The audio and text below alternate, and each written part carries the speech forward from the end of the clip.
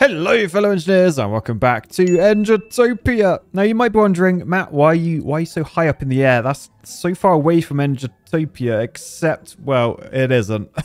Last time we built this, a sky city, which uh, is truly in the sky. And oh my god, there's like weird poo graphics going on. But yeah, so this was a bit of a vanity project last time. But I wanted to make sure that all good engineers end up at heaven engineer.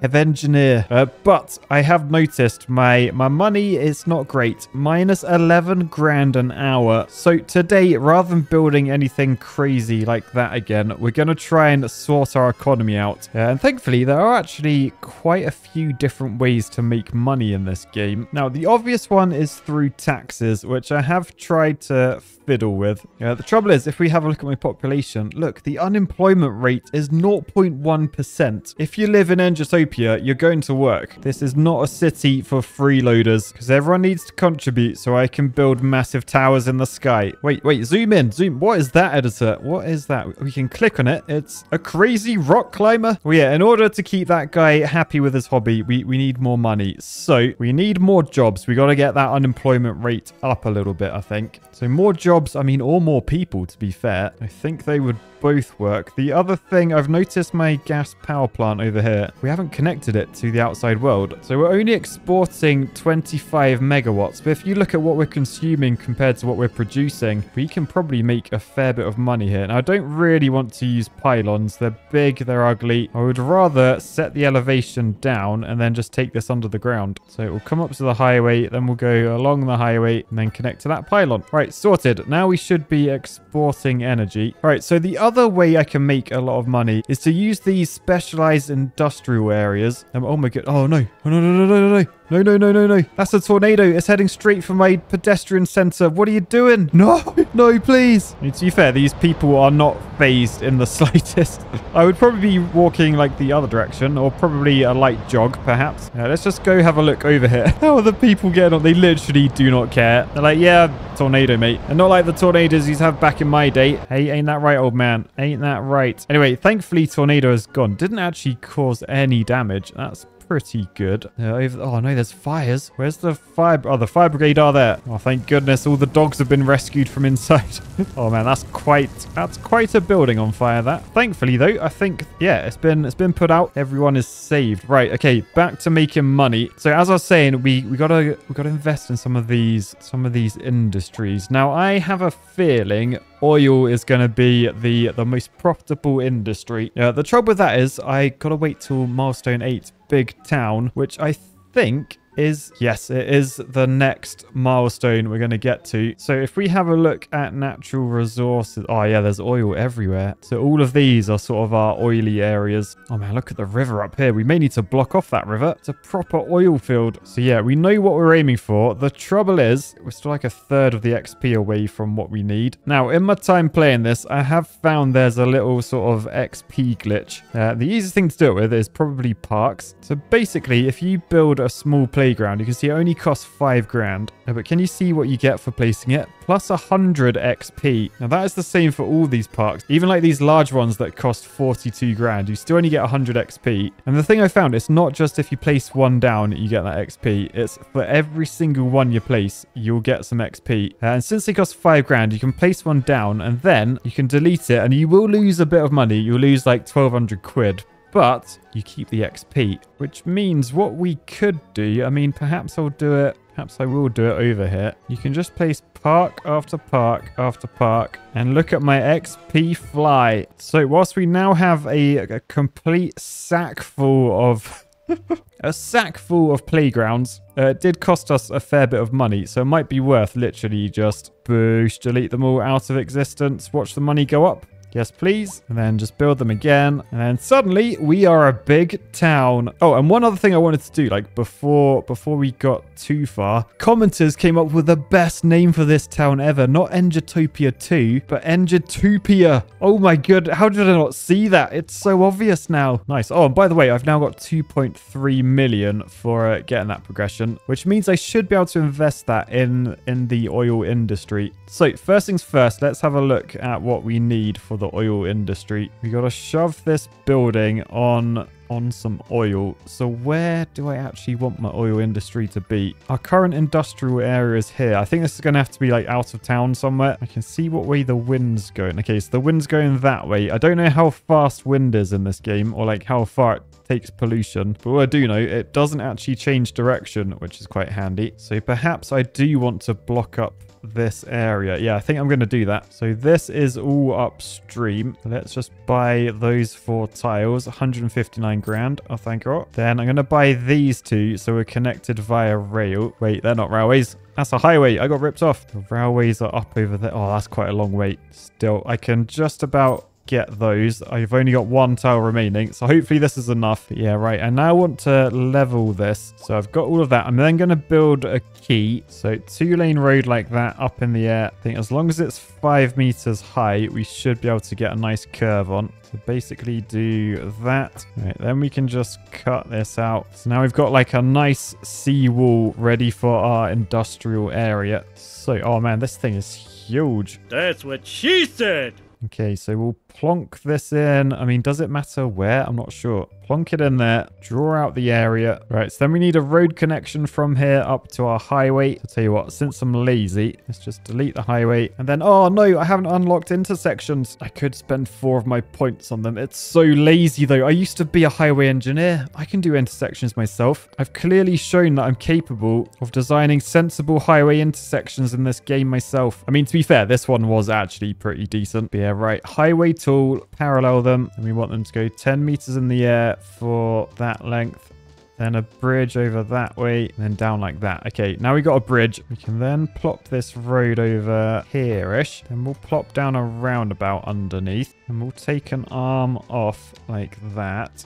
Go over here, roundabout there. Another one there. Curved road over like that. Okay, so then these roundabouts, you can see the arrow there means you go left round them. They're British, remember. So then from here, we want to go over to that one. This one, we want to go to there like that. And then we bung a roundabout in the middle as well. Perfect. All right, so we end up with something like that. So so we got four roundabouts connected to another roundabout in the middle. This roundabout in the middle, that's the one that comes down to our main road that leads to our new oil thing. And then these four roundabouts, they are for the slip roads off here. So basically highways, I think I want to up this to three lanes. Like there and there. Over this side, oh, exceed city limits. Right, this is the last tile I'm buying for this, I swear. But yeah, we shove that there that there. And now these these are just the diverge lane and the and the merge lane, meaning we can take a one lane one way highway from the end like that. We can take it down here and then connect to this roundabout. Boosh, nice. Then over this side we want to do the same but going from this roundabout up to there. So you can see if you come off the highway, you go onto this roundabout, then you have to go around to get to the middle roundabout. Lovely. This side, similar thing. Right, beautiful. So now we have a road connection down to here. We've just got to get water, electricity, and sewage. Brilliant. Although not really brilliant because, oh, I don't have any tiles. So I can't just share Engitopias, at least for now. Unless I just buy a few more parks, watch that XP rise, and watch as absolutely no one comes to the park, and then the local council decides, sod it, bulldoze the lot. See you later, mate. Boosh. And then we go again. I mean, I've just realized you don't even have to build them on a road. Anyway, yay! We're now a great town, which means a load more money. Oh, man, the XP is still flying in. Oops. I didn't mean to click it that many times. Still, we got our three and a half grand. The main thing, though, we've got our tiles, uh, which means I can connect them up. I only actually needed two tiles, but hey-ho. Right, so then I'm pretty sure I can just take pipes from here all the way up to there. Then we have everything except for electricity. But we've already got pylons here. So the question is, is it cheaper to build a transformer station for 30 grand or a load of electricity cables, like low voltage ones? If I were to take these up there, oh, these are going to be way... That's two. That's 300 quid. Okay, so I put telegraph poles the whole way along there, although they're not telegraph poles, are they? They're electrical poles. But now we have electricity, which means we have everything we need to... Is, wait, that's that's not the building, is it? That's just a rock. Sorry, boulder.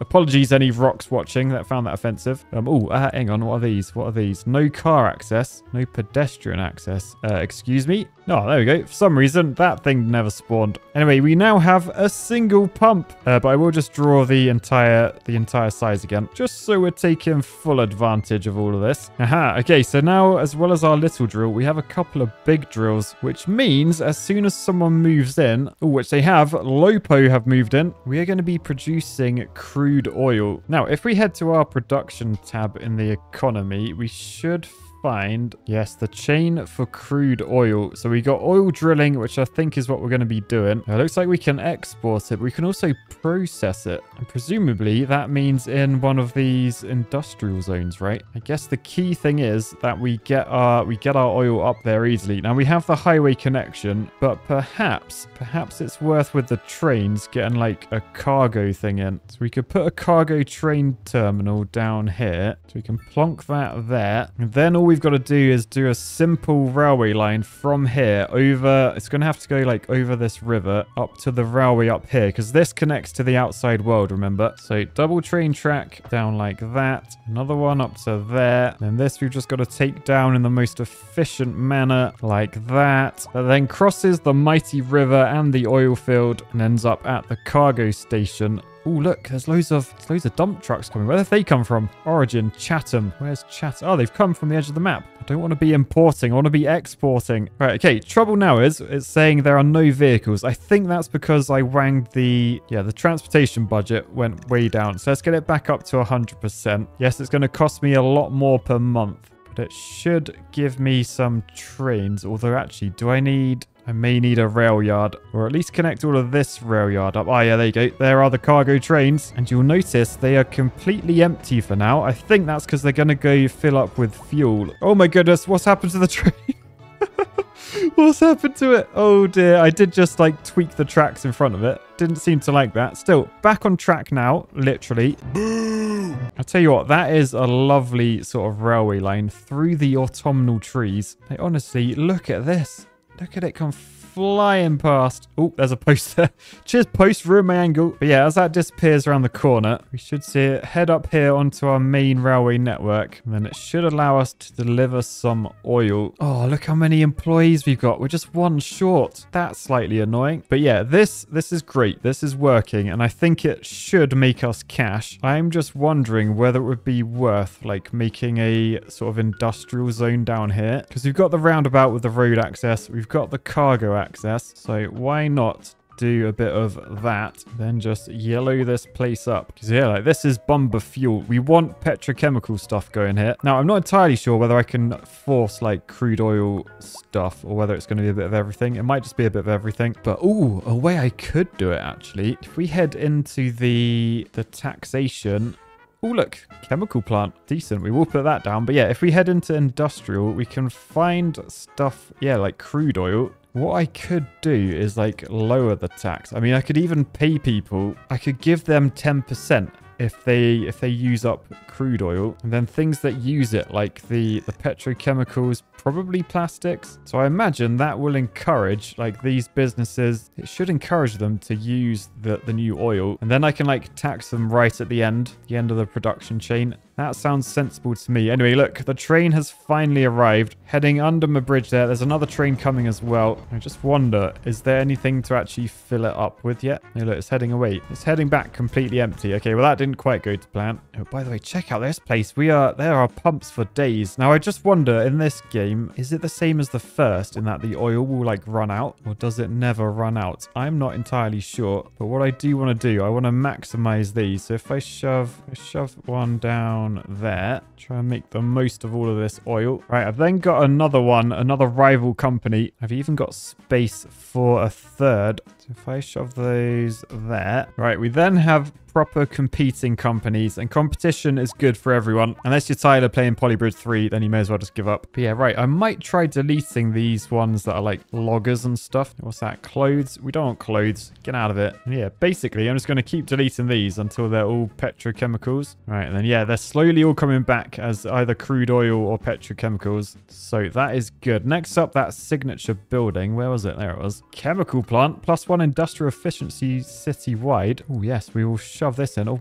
man, it is a big boy though. Still, plonk that back there. Oh my goodness, look at the size of it. So that requires minerals and crude oil and produces chemicals. I don't actually think we're, we're doing minerals. Maybe I will look at that as well. But yeah, that's a point with these. Are there? Yeah, look, there's a fuel one. How do I unlock that? Level 5 industrial manufacturing buildings. One out of 50? 50? That could take a while. Are there any other ones? Oil refinery. That is what we want. Industrial manufacturing building. Oh, we just got 10,000 cells and a technical university. Okay, education. We need the technical university. I mean, we should have that anyway. This is Engitopia. So this is our sort of education area. So we're going to have to shove it down here somewhere. So what does it cost? One? Oh, only two points. Thank you, game. Boosh. Okay, it costs 1.6 million though. That is pricey. Do I even want to shove that down? I don't know if it will work down here. I, mean, I might have to shove it up here by the by the highway. Yeah, I think that will be that'll be better up there. Highway along the front. Connect that up there. And that should get everything it needs. Yeah, there we go. And then can we... Oh, we can upgrade it as well. More room for students. So look, where those where those fields are, that becomes a building. Yeah, decent. You're having that. Workshop upgrade. Don't think it's visual, but we'll wang that in anyway. Now, that is the best technical university in the world. And it's the RCE Technical University, of course. Average time to graduate? Never. Never. Who needs stats on schools anyway? It's all about the learning, not about the result, right? Maybe. Right, it's now it's now winter. There's snow literally everywhere. Uh, I built a load more industrial stuff, which means we have finally unlocked the oil refinery. Now, this thing is a beast. I feel like it's probably better to have it sort of like probably down here next to the oil fields. That gets me a thousand XP as well. Lovely. But yeah, we just got to connect this up. Now, thankfully, my quay is just a big road, so I can shove that there. And now we're all connected. So hopefully someone will move in here. You can see it's currently empty and available for rent. But as soon as someone moves in, I feel like we'll be making some fat cash. Oh, oh, that's horrible. That's horrible. That is a crossroads. We don't have those in Engitopia. Bam, roundabout fixed. Right, I'm a bit concerned about this no vehicles thing. Like, it says there's two active vehicles, but there isn't. What if I just reduce that down to two? Ah, there we go. Oh, is that filling up? Right, it looks like it's got like everything except for the oil that we're producing. I thought you meant to be exporting it. We should have 33 tons of oil that we don't need. We should be exporting that. All right, well, anyway, our current money situation, minus 21 grand an hour. If we now start taxing the oil and all the products, we are now making a million quid an hour. Or is that a month? A million quid a month through taxation. Uh, trouble is, the, the income is still far below the expenses, but I'm going to guess that's because no one's moved into this place. So I guess for now, we'll wait to see what happens. Oh, look, it's the global warming is working. The snow is disappearing. I was worried all that investment I put into the global warming didn't work. But yeah, snow is gone now. Hopefully, hopefully someone will move in here soon. But yeah, for now, I'm going to say peace, love, and Engitopia. Bye, guys.